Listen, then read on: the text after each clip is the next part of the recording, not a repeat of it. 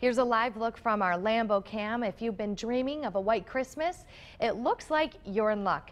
Some more snow is on the way. Pete has a look at the forecast. Yes, your dreams are coming true. Now, this morning, it's extremely cold.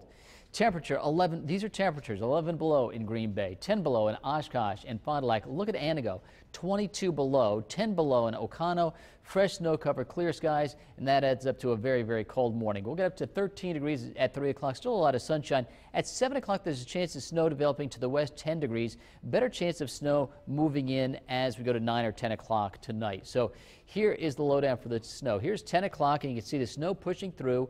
2 o'clock in the morning, snowing overnight and into tomorrow morning, and then a chance of some additional snow showers tomorrow afternoon.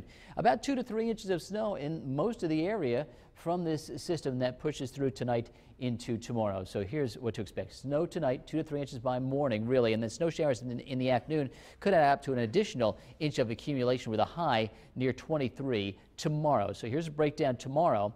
13 degrees at 10 at 7 o'clock in the morning and possibility of snow, probably snowing at 7 o'clock. But then at noon and 3 o'clock, just a chance of snow showers. 19 at noon on Christmas Day and 22 at 3.